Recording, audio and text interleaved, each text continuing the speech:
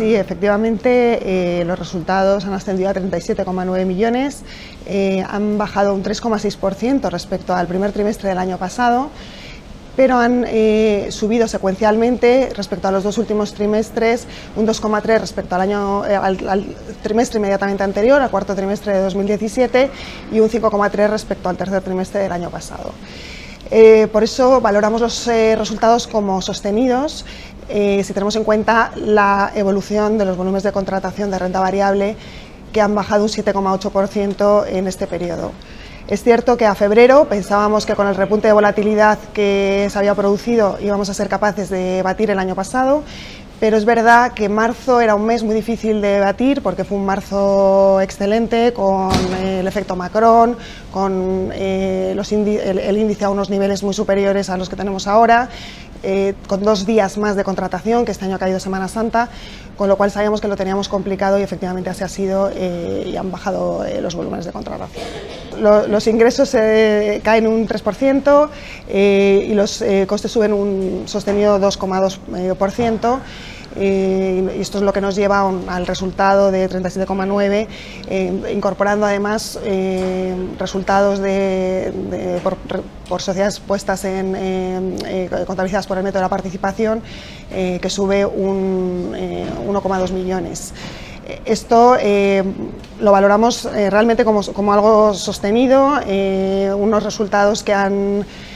sido capaces de mejorar la bajada en volúmenes, eh, la compañía además este trimestre ha tenido, eh, ha sido un trimestre de, puestas en marcha, puestas, la puesta en marcha de, de, MIFID II, eh, de servicios relacionados con, esta regulación. Hemos hecho cosas interesantes en, renta fija, en la, plataforma hemos cambiado mucho la, dinámica para adaptarla a los criterios de pretransparencia y en nuestro intento de eh, plataformizar o llevar a la plataforma todos los volúmenes. Igualmente em, hemos eh, listado eh, más de 80 referencias de deuda em, extranjera, em, principalmente europea, alemana, austriaca, holandesa,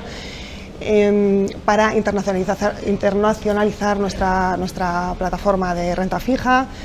Y bueno, ha sido un trimestre interesante. Es verdad que, el sector eh, ha tenido también que adaptarse a unos cambios regulatorios importantes y esto es lo que tenemos un poco que, seguir eh, próximamente, ¿no? en los próximos periodos. Eh, bueno, el repunte de la volatilidad que vivimos desde febrero ha beneficiado al mercado de derivados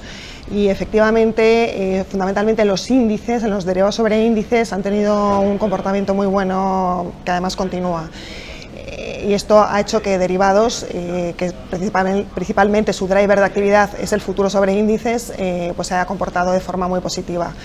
Clearing se beneficia de este mismo impacto, puesto eh, que compensa estos, estos derivados. Y además la, posición abierta también ha subido de forma sustancial y esto también incrementa los, los ingresos aunque tiene el impacto del menor número de innovaciones eh, sucedidas en el segmento de renta variable.